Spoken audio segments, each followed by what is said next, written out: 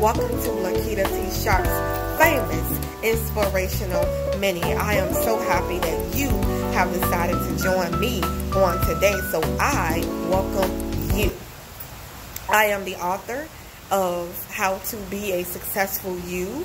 So check out my books that's out there on today. Now, let me tell you, we're, gonna, we're talking about success. You know, you when you become successful, you know, when good things are happening to you, nobody is hardly ever around to be found. When good things are happening for you.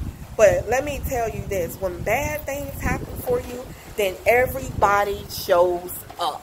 You know, I remember one time something happened in my family with my husband, and I didn't hold on for a second. I didn't, everybody just came out of nowhere. Blessings